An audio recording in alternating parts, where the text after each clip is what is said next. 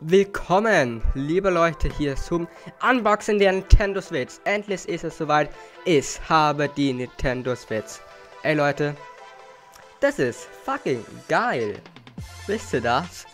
Und wir werden die jetzt in diesem Video unboxen. Ich zeige euch alles, was bei dem Pack dabei ist und was man beachten muss. Und ich würde sagen, wir fangen gleich an und machen die Konsole auf. Wir sehen schon auf der Vorder- und Rückseite sieht man schön das Nintendo Switch Logo. Und hier kann man schon super erkennen, was da drin ist. Und ich nehme jetzt erstmal den ersten Teil hier raus. Und da sieht man schon links die Joy-Con-Halterung und rechts das Tablet. Und nun werden wir uns vereinzelt den Joy-Cons widmen, indem wir die einfach raustun. Und ich tue die hier aus der Verpackung. Und übrigens, falls es wundert, das Video wird es in 4K geben, aber es ist jetzt noch nicht in 4K. Das braucht lange, um zu rendern. Und hier haben wir den ersten Zollkorn, ihr habt es den gesehen, die wirklich mal anfassen zu können. Das ist ein Erlebnis, liebe Leute. Hier haben wir den zweiten Zollkorn. Ihr seht den hier, ist ein bisschen unterbelichtet, aber ihr seht ihn. Das ist die Hauptsache. Und hier haben wir so ein kleines Rest. Das wohl wichtigste Ding im Pack, liebe Leute. Denn das hier ist tatsächlich die eigentliche Konsole. Dieses Tablet hier ist die Konsole. Nicht der Fuß, zu dem wir gleich kommen, nicht die Dogging Stage, sondern das hier. Das Tablet ist die ganze Konsole. Halleluja. Packen wir auch diesmal aus. Ähm, ich werde später ein Video hochladen, wo wir die Konsole einrichten. Da seht ihr dann die Konsole aus, auch. Aber so sieht das Tablet aus. Hinten steht Nintendo Switch drauf. Und das passt in einer Hand. Da könnt ihr euch die große ungefähr denken, die es dann letztlich haben wird. Logischerweise. So. Dann haben wir die Anleitung. Die ist ganz wichtig. Die müssten wir uns unbedingt durchlesen. Die tun wir mal auf die Seite erstmal.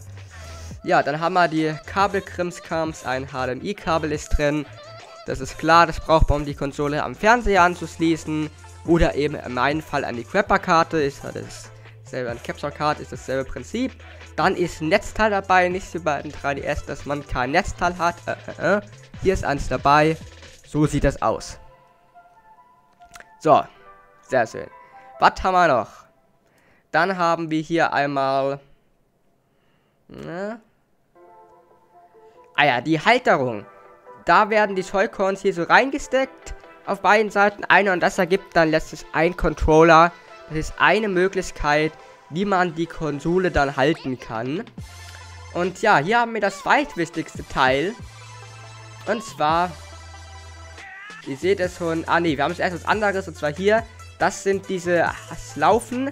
Gibt es auch bei der Wii diese ähm, Handslaufen, die macht man an den Controller dran. Was man leider nicht ganz genau, die macht man hier dran.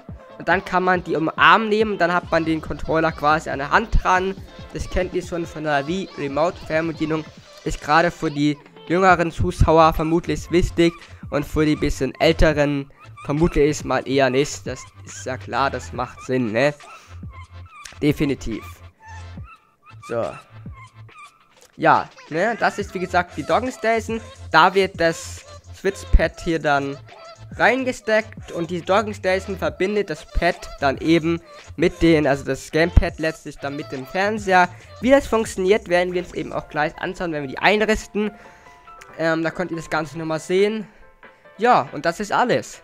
Das ist alles, was drin ist. Leider Gottes kein Spiel. Ich habe auch noch kein Spiel bekommen. Ich hatte Glück, dass ich die Konsole bekommen habe. Vielleicht ganz kurz da mal eine kleine Anekdote. Ähm, ich bin bei meinem örtlichen Testemarkt bei mir im, Nachbarort. Der ist total klein, da sind nicht viele Leute. Und heute Morgen standen da eine Reihe von Leuten, wirklich, standen zehn Leute an. Ich dachte, in München, vielleicht okay. Aber Nachbarort, ist ein kleiner Ort. WTF, so viele Leute stehen da an, alles klar. Dachte ich mir dann nur so, ne? Ähm, ich habe Bahn zum Glück bekommen, weil ich die vorreserviert hatte und Anzahlung gemacht hatte. Spiele wurden aber überhaupt gar keine überhaupt geliefert, ne? Also habe ich jetzt keine Spiele. Ich werde gleich in die Stadt fahren, schauen, dass ich da Zelda erwisse.